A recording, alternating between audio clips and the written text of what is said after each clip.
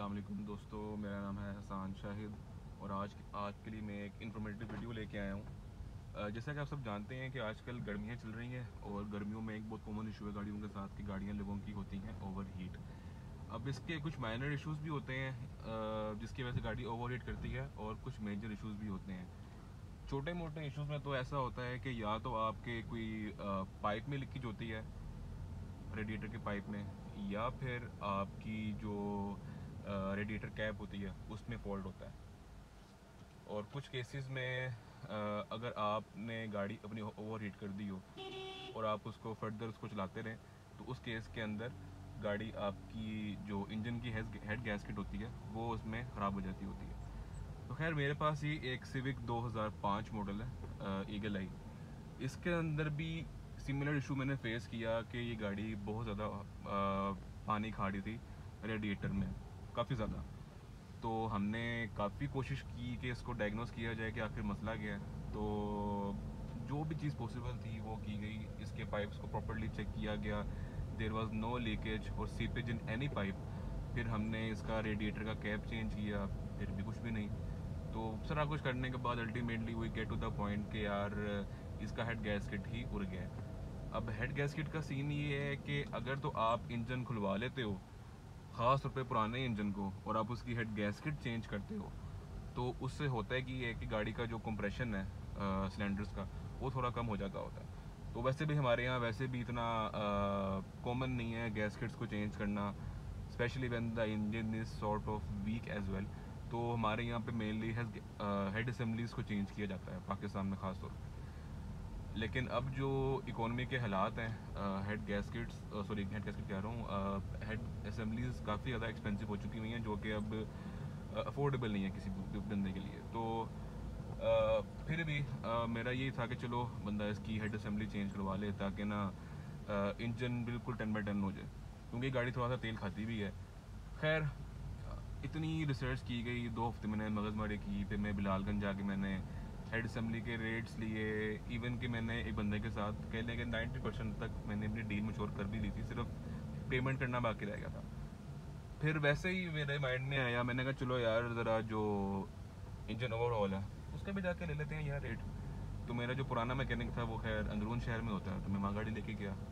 तो उसको मैंने बताया कि यार, ये मैं चाह रहा हूँ कि इसकी हेड गैस किट ना, हम डाल लें।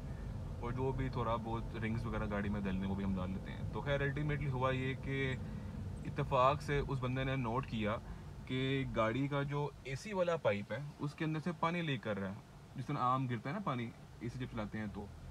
तो उसने मुझे कहा, हालाँकि ना मैं बंदे को फ़ोन मैं अपने मैकेनिक को पहले बता के गया था वहाँ पे कि मैं आ रहा हूँ इस काम के लिए आपके पास। तो उसको पता था यार गाड़ी ओवर हिट हो रही है, इसने गाड़ी लेके आनी है। तो जब मैं गाड़ी वहाँ लेके गया तो उसने नोट किया कि एसी के पाइप में से पानी निकल रहा है। तो उसने मेरे से पूछा कि आप एसी लगा के आए हैं? मैंने कहा, नहीं मैंने तो एसी लगाया नहीं है। गाड़ी की हालत ही ऐसी नहीं है कि मैं इसको एसी लगा के कोई पंद्रह बीस किलोमीटर का ट्रेवल करूँ। खैर अल्टीमेटली फिर उसने जब ये चीज़ ऑब्ज़र्व की ना, फिर उसने बोला कि शायद कोई इशू है। तो उस टाइम मेरे भी फिर माइंड में आया। मैंने कहा, यार, ये तो आपका जो एसी का पाइप में से जो पानी गिर रहा है, उसको तो गिरना चाहिए नहीं जब एसी ऑन हुआ। तो फिर मेरे माइंड में आया कि मैंने घर में एक चीज़ ऑब्ज़र्व की थी, ये जब ये इंसिडेंट हुआ था इसके पानी खाने का तो उन दिनों मैंने एक चीज़ नोट की थी कि एसी के वेंट्स के अंदर से ना, मुझे आती थी कभी कभी आवाज़ की जिस तरह कोई चीज़ अंदर लीक कर रही है या कोई कोई चीज़ सर रही है, इस सॉर्ट की मुझे फीलिंग आ रही थी, लेकिन मुझे कंफर्म नहीं हो पा रहा था कि यार ये मसला क्या है। खैर, मैंने फिर अपने मैकेनिक को मैंने ये भी बताया कि यार मैंने ऑब्ज़र्व किया था कि शायद there is some leakage inside तो खैर मुझे तो पता ही नहीं था कि इस तरह का अभी अनोखा इशू भी हो सकता है जो गाड़ी में निकल आया।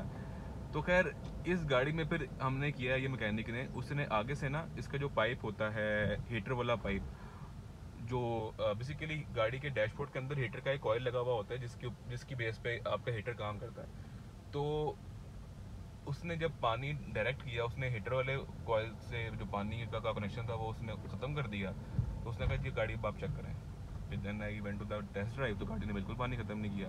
तो फिर डायग्नोज ये हुआ इतफाक से वो भी, कि इसका जो हीटर वाला कॉइल है डैशबोर्ड के अंदर, वो लीक हो गया था, जिसकी वजह से गाड़ी इंटरनली कोई सीपेज गाड़ी थी, और जो कि नज़र भी नहीं आ रही थी और उसकी वजह से रेडिएटर में पानी ख़त्म हो रहा था, और मैं इतना तंग हुआ, और मैं तो यहाँ तक आ गया हुआ था कि जी इसकी मैं हेड असम्बली चेंज करवा रहा हूँ, मुझे भी ये लगा था कि शायद गैस किट्टी हो गई है। और मैंने जिसको भी गाड़ी दिखाई थी, उन सबने ये कहा था कि यार गैस किट्टी है क्योंकि गाड़ी में लीकेज ही नहीं है। तो ये एक एक बड़ी अनोखी फाइंडिंग थी। मैंने कहा मैं आप सरों को भी इस बात को बताऊँ। वीडियो काफ़ी लंबी हो गई है, लेकिन पूरा नेरेटिव बिल्ड करना चाहिए, करना ज़रूरी था ताकि आप लोगों को पता चले कि मेरा एक्चुअल में एक्सपीरियंस क्या था।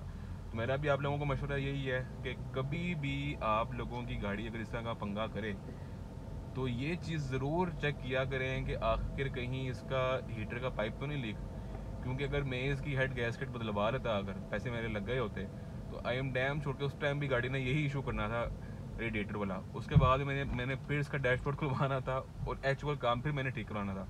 तो अपने पैसों को बचाएँ और अपनी गाड़ी को प्रॉपरली ऑब्ज़र्व किया करें। जो भी अगर कोई एबनॉर्मेलिटी गाड़ी में आए तो उसको ज़रूर डीप डायग्नोस किया करें ताकि आप छोटे खर्चे में ही अपनी गाड़ी को मुकम्मल कर पाएँ।